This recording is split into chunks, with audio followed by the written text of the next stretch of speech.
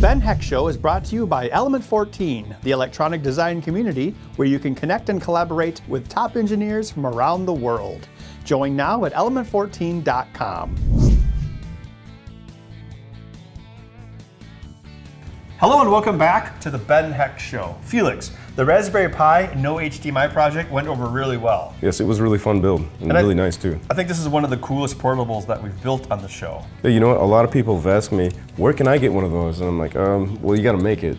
Yeah, and there's a lot of intricate hand soldering involved. I mean, we're pretty good at soldering because we do it all the time, but even then it takes you know, a mm-hmm. lot of time even for us. So I was thinking in today's episode, what if we took this and turned it into an all-in-one PCB? that is a great idea. So instead of having to do all that soldering, people could just buy the board, like perhaps this is a kit or mm-hmm. something on Kickstarter that people could buy. They buy the board, they attach the screen, an A plus, and a battery, and boom, they pretty much have this, but without any of the annoying soldering. Hey, that would be awesome. Yeah, let's get started. Amazing hacks. Should we take it for a spin? Inspired designs. Imhotep's priests. Regrettable acting. No one seems to get it. Each week, Element 14's The Ben Heck Show brings you innovative projects using electronics, engineering, and more.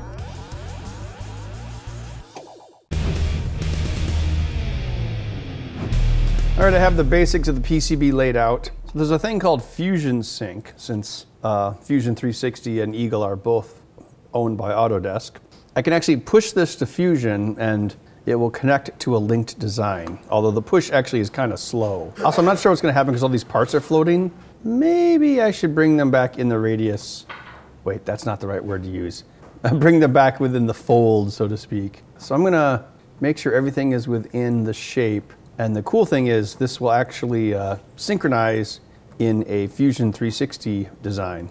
So you can, uh, yeah, basically have your Fusion 360 design based off your PCB or vice versa. You can have a PCB based off a shape in Fusion 360. And then you're allegedly able to even move the components within Fusion and then come back here and they'll have moved. I haven't gotten that part to work yet, uh, but you know, maybe I'm just doing something wrong. It seems like it's still a beta feature. I mean, if they get it working really well, that would be pretty cool. Yeah, let's just get everything in place. Uh, one thing we'll have to think about when we start laying out this board is making sure that there are no tall components on the front side because that would affect the screen's uh, position. Uh, you know, we talked about having the screen, you know, what, the surface of it is 0.2 inches above the surface of the PCB, but some of these um, inductors might actually exceed that height, and that wouldn't be good. I feel like I'm Bob Ross, I'm just randomly dragging things around the screen while you listen to me talk about things. Happy little butterflies. The clouds, clouds of cloudiness cloud my heart with clouds and stuff. All right, everything's within the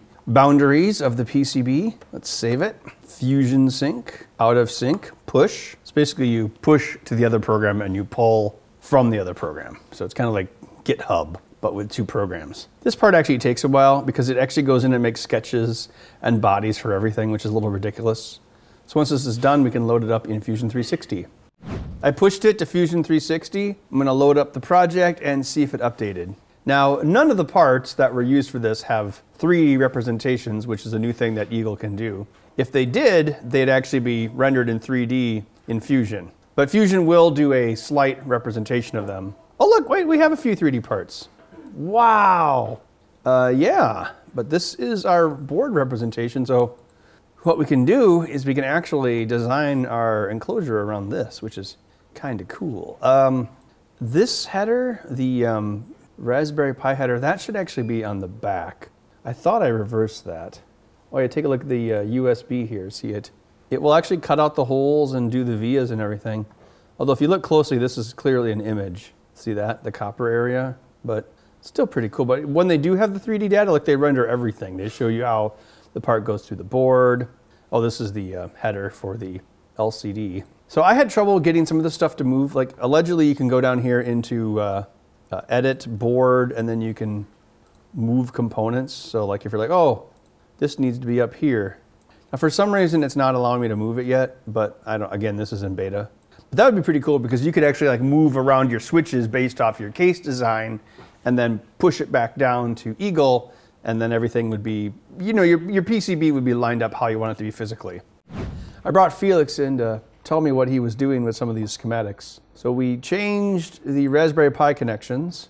Looks like you had one that was actually a Raspberry Pi library. Yeah, I ripped it out and I turned it into a surface mount version. that'll be nice. Unfortunately, we had to flip it to make it work. And the surface mount version of the part, its origin point is up here. See that arrow? You know, I'm just thinking, what if you go in and edit that part and move the center? Oh, would I have to re-import it? I wrote down the value of the old part, so that would make it handier. I wouldn't have to do math. I presume it's already in your library. You could just edit it, and then Yeah, I wonder if that would be a problem like for pick and place too. It's like, oh, that's the center, but it's not. Yeah, you want to give it a shot? let's see. All right. Felix, I loaded up that part. Now, we can't move the origin as far as I know, but we can move everything around the origin. So look, the origin is right there. When you design a part, you should have the part in the center of the origin. See if we can move it. Move. One thing that's kind of tricky about um, Eagle that I've noticed Yeah. is to do um, hotkeys. You gotta have a there's there's a separate hotkey configuration for the library editor and a separate one for the board editor and a separate one for the schematic editor. That's lame. One, two, three, four, five, six, seven, eight, nine, ten. Cool. Looks like that's centered. Uh, yeah, it's pretty straightforward. Looks like this is just a oh, 50 mil pitch. Have I ever told you how much I hate mils? No, you have. Is I think I think mils are kind of like saying 5,200 as opposed to 5,200. I'm so triggered. so when you design a part, you're supposed to uh, design it from the center out. So the pick and place machine knows, hey, that's where I pick up the part. All right, let's see if we can. Uh, what if we had to update? Let's update all, just in case. So let's go back over here, and that was the pinhead library. So it's someone who likes pinball machines, apparently. Are you ever going to get a pinball machine, Felix? Yeah, the likely the, it's likely that I will Someday. someday. Yeah, But not, but not now because someday is not now. that's right. All right, let's import this part and let's just take a look at it in the board view before we do anything else. Hey, look, it's Voila. got the center point where it needs to be. Now, I did notice when we placed this, so the, you know, if we're looking at the board, you know, straight on like this, this is how it looks.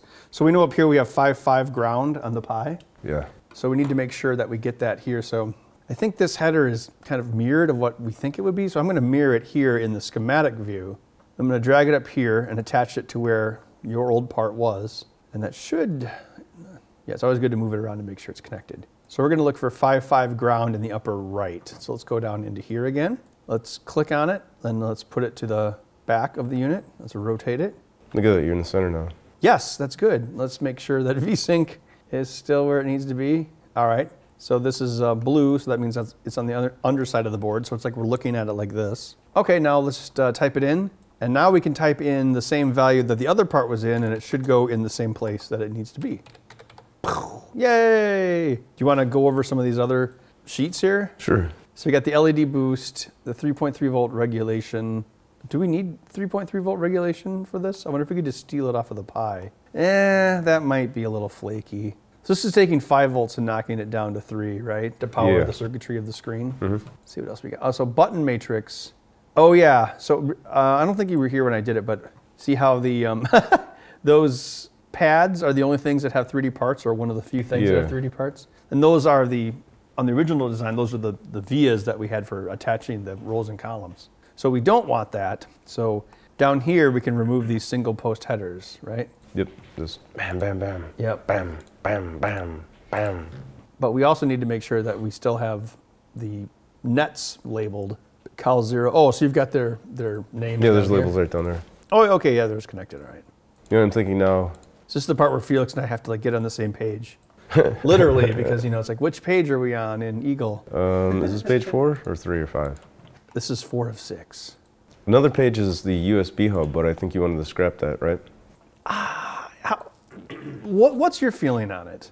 Mm, Well, there's nothing th- there. that's that's my feeling on it. Especially now that you, you said um, the board would be on the edge and the USB would be sticking out the side. Yeah, and then if we're having people wire things that aren't already on the header, the, the more we can minimize that, the better. You know, maybe it's just the audio they have to wire up with some couple wires.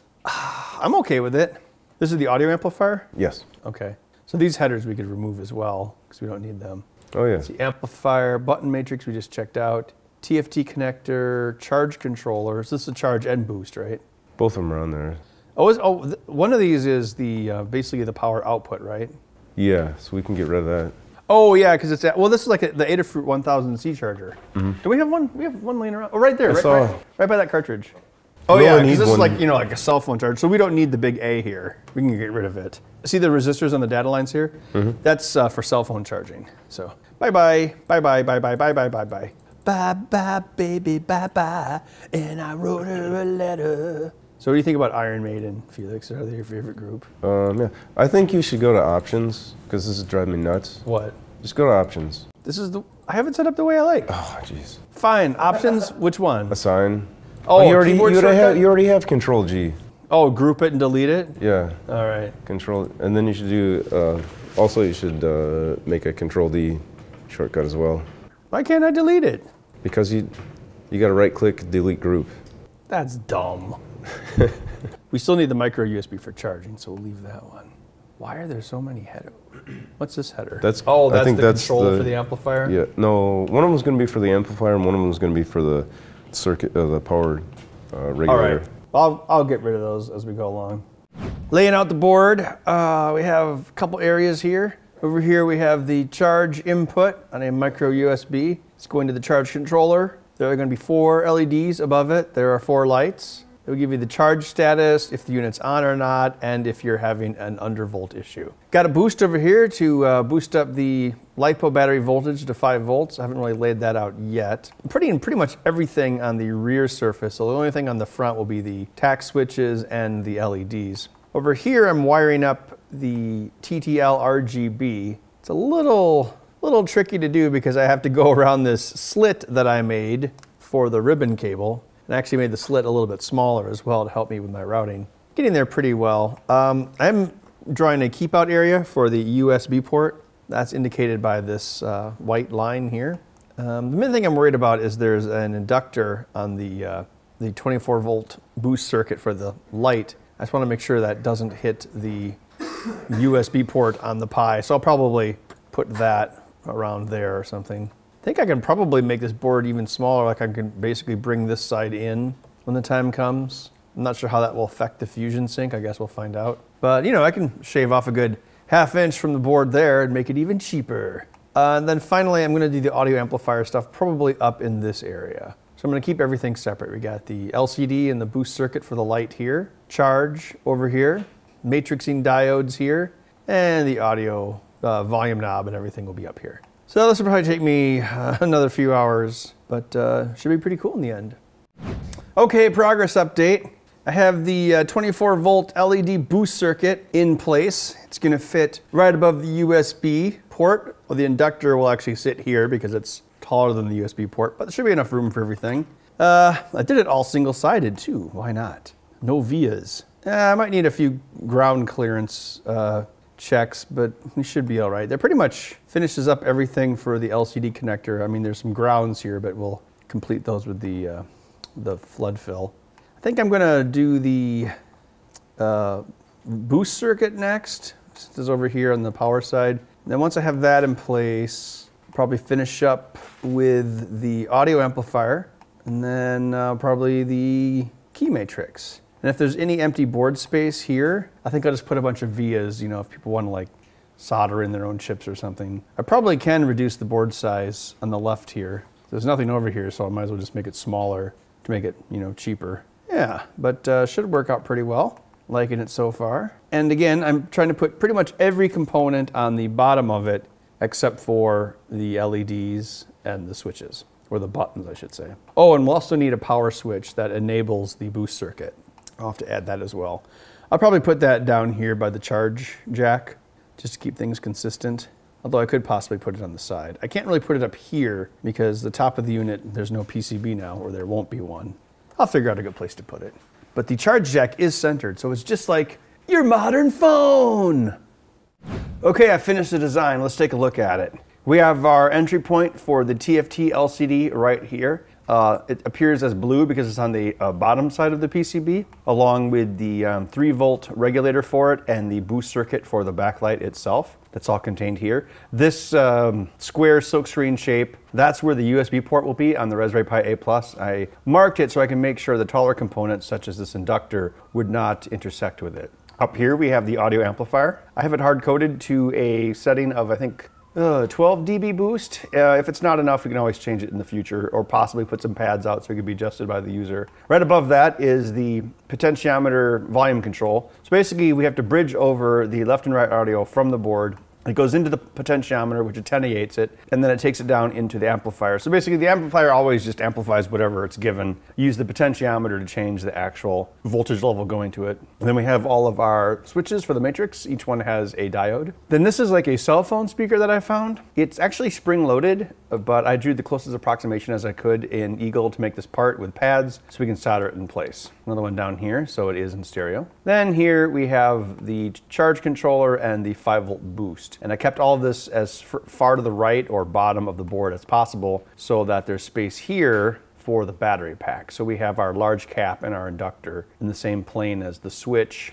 and the uh, USB port. So yeah, oh, I also added a bunch of uh, holes in case you want to bolt your own circuitry and then there's a power and ground rails brought close to it. So if you want to attach 5 volts, you just bridge this. If you want 3.3, you bridge that. And then you have like this V power rail here, you know, just in case. And you, you can fit like a, a DIP 18 there. I'm sorry. You could fit a DIP 16 here uh, pretty easily. All right, well, that should be everything. All right, I'm gonna send this off to Osh Park. We'll wait a couple weeks and then I'll have Felix stuff in the parts.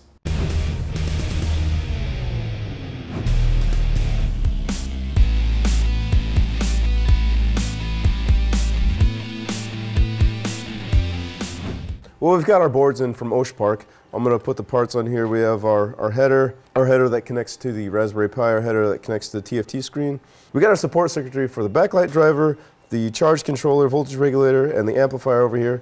A bunch of uh, capacitors and resistors, our switch matrix on the front, our speakers, and over here we're going to have um, the potentiometer for the volume control. I'm going to go ahead and get this stuffed, and then we'll do some tests while Ben is working on some other things.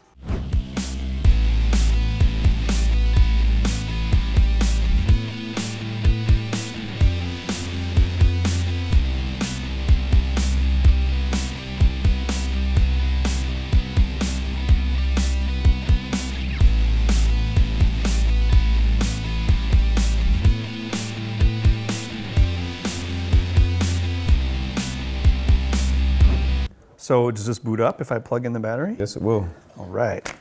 So one thing we'd have to change, for, I know you wanted a quick disconnect here. You have to manually wire the audio from the headphone jack to the amplifier.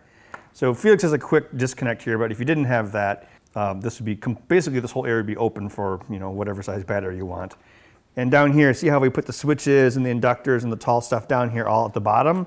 Again, giving you as much battery room as possible. So we just got a standard JST connector right there. Let's flip it over, turn it on. Here it comes. So in the original version of this, we used the um, volume control in RetroPie, but it yeah. didn't work all that well. So this one, we just have it all the way up and we go through potentiometer. I don't think uh, it didn't work very well. It's just buried in the menu. That was my. Oh, it also didn't work very well. Okay. If you went so below 100, it was like. Okay. So I did change some of the arrangement of the buttons. I don't actually remember which what these buttons do because it was like what two weeks ago. Well, the the labels are on there. They're like sideways. Oh. I think the well actually they're. Oh yeah, escape F4 control delete. I didn't even put any effort into the silk screen. Mm. Basically, we designed this and ordered it. it was. it looks like the um, see this LED that is an undervolt uh, mm. warning for the boot circuit. So there might be something up with that, although everything seems to be working. And I did notice uh, we, when we had it hooked up to the charger, the battery went up in voltage a little bit, but not as much as it should, so we should probably check into that. But the screen appears to be working correctly. And have yeah. you checked over the matrix? Does it work correctly? Yep. Cool. Well, that's all we have for today. But to recap, we took our original Raspberry Pi no HDMI hand-wired project that looked like this and redesigned it into a convenient all-in-one board that you can plug components into. So if this was a pre-stuffed board, and all you had to do was add the screen, the Pi, and the battery, would you buy it? please let us know in the Element 14 community at element14.com forward slash TBHS. You can also go there to read about other upcoming episodes, builds, and special events.